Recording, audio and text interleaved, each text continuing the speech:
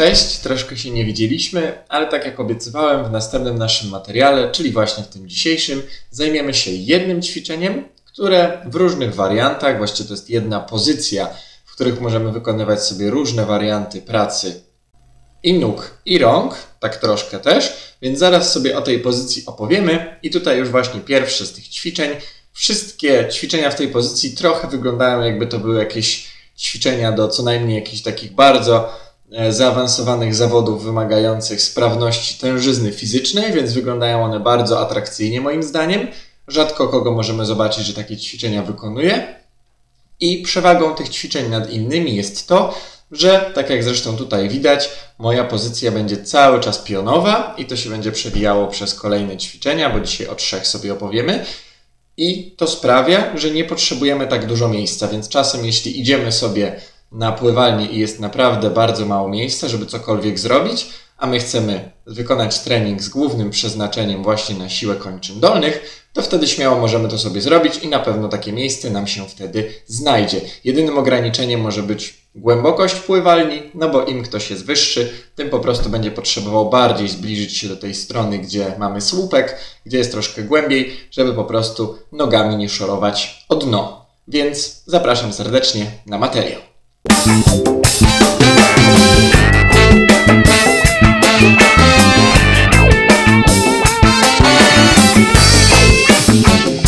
Pierwsze ćwiczenie, o którym sobie opowiemy, jest to praca nogami w pionie na głębokiej wodzie. Na głębokiej wodzie dla każdego to może być inna głębokość, tak jak już mówiłem na wstępie. Im ktoś jest wyższy, tym po prostu tej głębokości bardziej będzie potrzebować. Więc mamy sobie tutaj taką pozycję, pracujemy sobie nóżkami w pionie. Praca nogami jest dokładnie taka sama, jakbyśmy normalnie się przesuwali w tej pozycji takiej płaskiej, leżącej. Teraz właśnie od boku to widać. Zwróćmy uwagę, że troszkę moje nogi przypominają pozycję jakbym biegł, więc to jest mniej więcej odpowiednik tego, jak leżymy i chcemy płynąć. Czyli pamiętamy o tym, że to wahadełko, które wykonujemy nogami, Oczywiście tutaj wszystko ma wychodzić z biodra, ale zgięcie w kolanach też jest naturalną rzeczą pod wpływem właśnie nacisku na wodę. To się po prostu dzieje i z tym walczyć nie chcemy. Natomiast zwróćmy uwagę właśnie, że to wahadełko jest i do przodu, i do tyłu prawie że identyczne, czyli tyle samo, ile nogę tutaj wystawiam do przodu, zaczynając z tego punktu, tyle samo później tą nogą chcę odbić do tyłu. Tak? Czyli żeby zachowywać równe odległości, bo później w trakcie płynięcia, jak będziemy już się przemieszczać tak płasko na wodzie, będzie to bardzo ważne, żeby nie naciskać nogą bardzo mocno w dół, a lekko oddawać do góry, albo wręcz właśnie do góry, żeby nam stopy albo tam nawet większa część naszej kończyny dolnej wystawała nad wodę, a w dół tego nacisku będzie tyle co nic. Więc jest to bardzo fajne ćwiczenie, które akurat tutaj w wariancie z nogami do kraula można wykonywać jak najbardziej i uważam, że jest ono równie dobre jak wszystkie inne pozycje.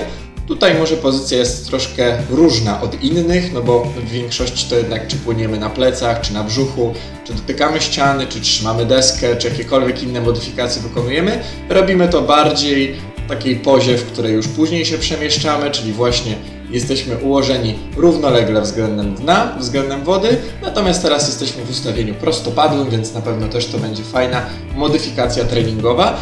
Zwróćmy tutaj sobie jeszcze uwagę na ręce, jak się zachowują, bo zaraz sobie omówimy bardzo podobną pracę, tylko że do innych stylów. Natomiast co można tutaj powiedzieć jeszcze o pracy rękoma? Ręce w najprostszym wariancie byłyby po prostu wzdłuż tułowia i mogłyby nam lekko, troszkę taki ruch jak meduza, troszkę jak taki glajch, bardzo początkujący, wykonywać niewielkie ruchy i to by nas też wspomagało, że jeśli z pracy nóg nie bylibyśmy w stanie się nad tą wodą utrzymać, nad wodą mówię tutaj o tym, żeby po prostu głowa znajdowała nam się w pozycji nad wodą, żebyśmy mogli mieć albo swobodny dostęp do zegara, który jest i wykonywali to ćwiczenie po prostu na czas, typu nie wiem, tak strzelam 4 razy po 30 sekund pracy nogami w pionie, z małą przerwą, albo mieć kontakt wzrokowy, no i też słuchowy z trenerem, z instruktorem, z kimś, kto nam jakieś rady co do tej pracy będzie po prostu przekazywał. Więc najprostszym wariantem byłoby coś, czego tutaj nie ma, czyli dwie ręce wzdłuż tułowia i one też uczestniczą w tym, żeby nasze ciało utrzymać nad wodą.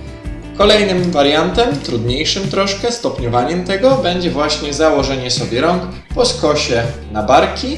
W tej pozycji ręce nie pomagają, ale również nie przeszkadzają nam w tym, żebyśmy się mogli śmiało na tej wodzie utrzymywać. Więc jest to też fajna modyfikacja, jeśli już z rękoma śmiało dajemy radę, to próbujemy troszkę te ręce zacząć wyłączać z całego procesu, żeby w pełni móc wykonać to ćwiczenie na samej pracy nogami.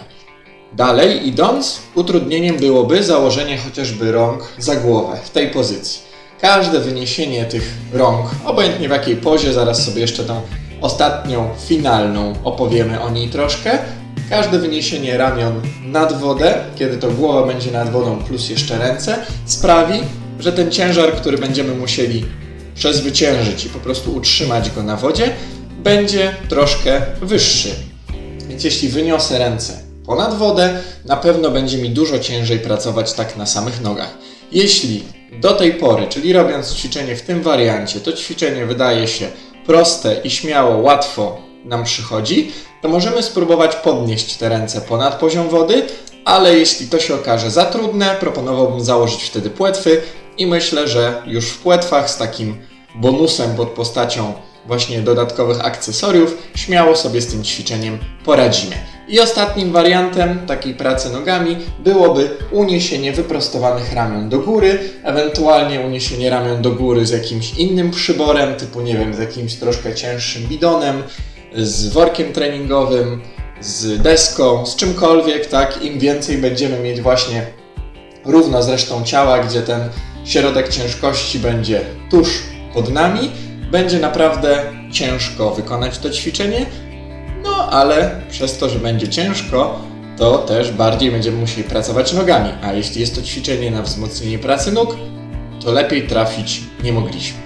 I to samo właściwie, mm, jeśli chodzi o ułożenia rąk, jeśli chodzi o pozycję ciała, będziemy mieli do pokazania w następnych ćwiczeniach. Czyli teraz mamy same nogi do żabki w pionie. Zwróćmy uwagę, że tutaj troszkę wygląda to jak taka meduza. Ciężko byłoby wykonać tą pracę nogami z zaznaczeniem jeszcze momentu wyleżenia, z tego względu, że po prostu po takim kopnięciu, jak ja bym został chwilę, no to prawdopodobnie zacząłbym opadać w dół, głowa by już musiała się zanurzyć pod wodę.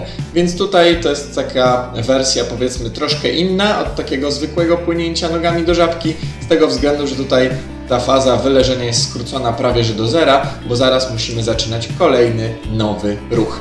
I tutaj tak samo jak w poprzednim przykładzie możemy sobie ustawiać ręce w różnych wariantach. Pamiętajmy o tym, że im wyżej, tym po prostu będzie ciężej. No i jeszcze jedna rzecz, o której tutaj sobie można powiedzieć. Jeśli już pracujemy nogami do żabki, no to oczywiście ten ruch lekko do góry i do dołu będzie wynikający ze struktury ruchu, więc proszę się tym nie przejmować. Tutaj początkowo może być taka sytuacja, że polecimy komuś, żeby wykonał to ćwiczenie, a on po prostu po wykonaniu jednego ruchu będzie musiał schodzić lekko pod wodę, żeby z kolejnym kopnięciem się wynurzać nad wodę. I myślę, że początkowo, jeśli to jakby wyglądało, to nie ma z tym najmniejszego problemu. Trzeba będzie po prostu się tutaj dobrze wentylować. Troszkę jak podczas płynięcia całą żabką nabierać oddech, chować głowę, nabierać oddech, chować głowę. Natomiast myślę, że już później na pewno będziemy sobie w stanie z tym poradzić. Jeszcze jednym wariantem, o którym tutaj sobie możemy powiedzieć, jeśli naprawdę będzie ciężko komuś przyjąć w ogóle pozycję w pionie, no bo bardzo często, jeśli ktoś nigdy tego nie robił, może być tak, że ta jego pozycja w pionie, jemu się będzie wydawało, że to jest pozycja w pionie, a tak naprawdę będzie to pozycja prawie że leżąca, może tak lekko bardziej po prostu tułów będzie uniesiony do góry w jedną albo w drugą stronę, tak? Czy to właśnie bardziej na brzuchu, czy to właśnie bardziej na plecach. Więc warto wtedy takiej osobie albo na pływaniach dostępne są, jeśli jesteśmy instruktorami czy trenerami.